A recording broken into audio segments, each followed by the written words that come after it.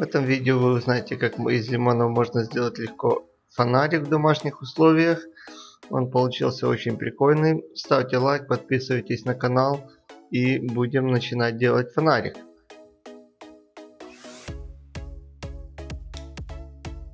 Для начала нам понадобятся лимоны в количестве трех штук, а также другие детали. Делаем разметку на деревянной основе, после чего мы будем не делать отверстия в соответствии с нашей разметкой.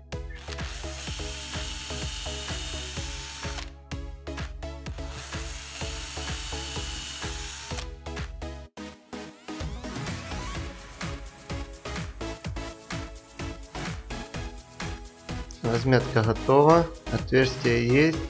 Дальше нам нужно вставить с одной стороны медные гвоздики, другой цинковые. Вместо цинка мы будем использовать железо.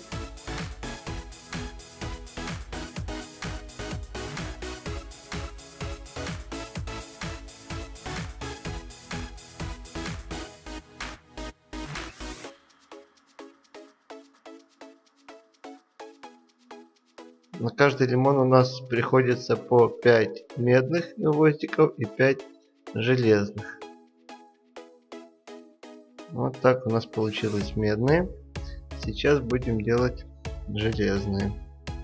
Вставляем их с задней, с нижней стороны нашего фонарика.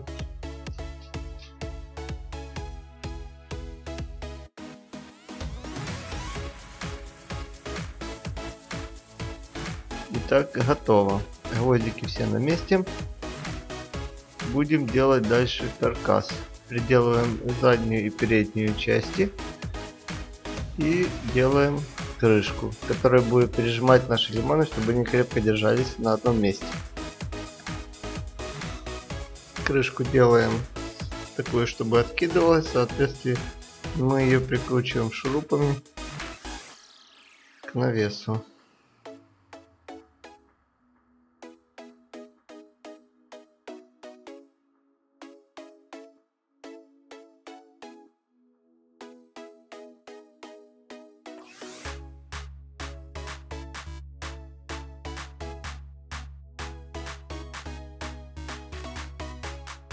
Также, чтобы она закрывалась удобно, мы приделаем защелку.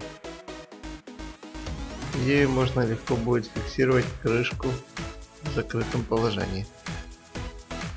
Дальше нам нужно еще будет сейчас приделать ручку, чтобы было удобно держать фонарик и перемещать его.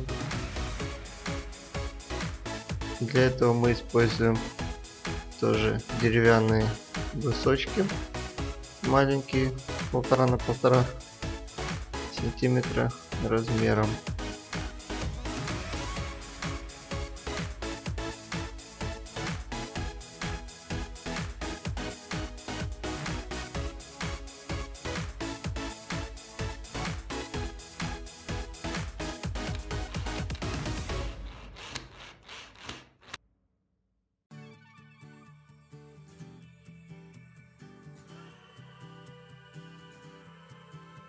Также, чтобы она хорошо держалась, предварительно смазываем ПВА.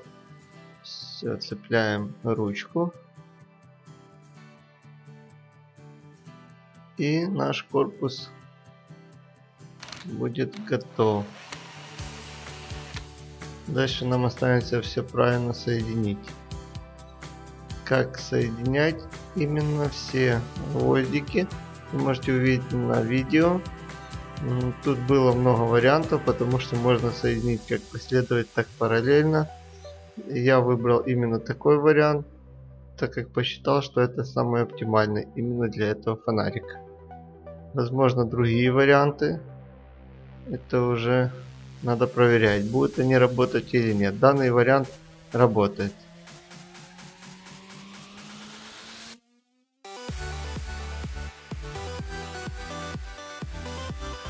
Три лимона соединены параллельно друг с другом, а внутри каждого лимона 5 гвоздиков последовательно.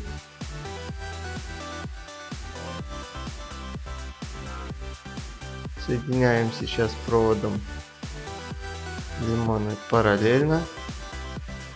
И плюсы и минусы.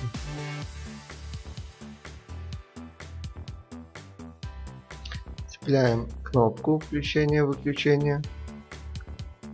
Ее один контакт уходит у нас на плюсик, другой уходит к светодиоду. Минус, соответственно, сразу напрямую идет к светодиоду. Провода крепим.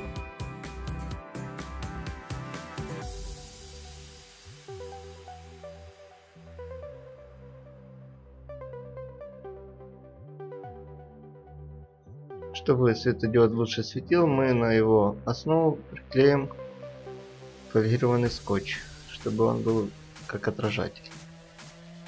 Вставляем наши лимоны. Немножко их подрежем, чтобы они плотненько зашли. И до упора будем их вставлять.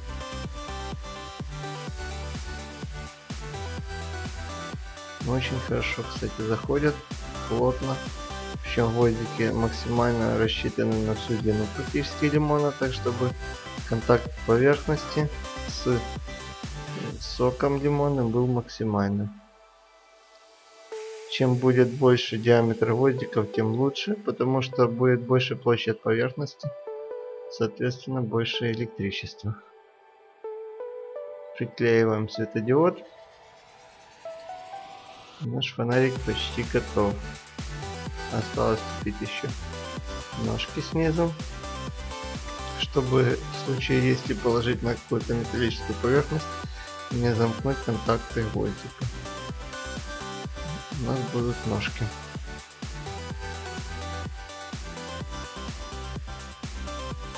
Все, фонарик готов, будем пробовать. Будем пробовать его запускать. Как видно, он горит. Я честно сам не знал, получится он у меня или нет до конца этого видео. Только когда я его собрал, уже увидел, что он работает.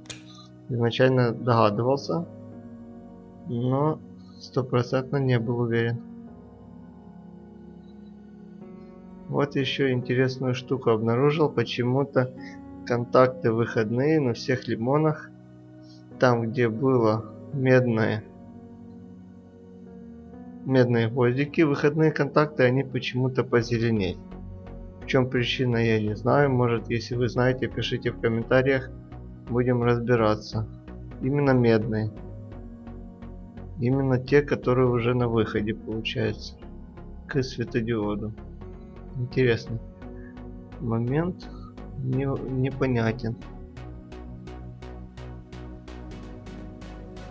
Ставьте лайк под этим видео подписывайтесь на мой канал, нажимайте колокольчик и до встречи.